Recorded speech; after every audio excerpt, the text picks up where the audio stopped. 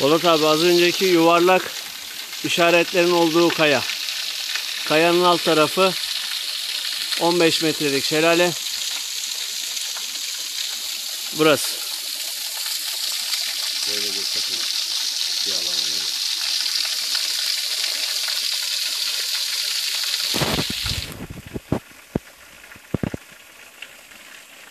Suyun döküldüğü yer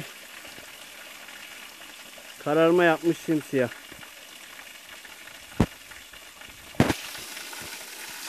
Zemin komple taş döşeli sökülmüş taşlar.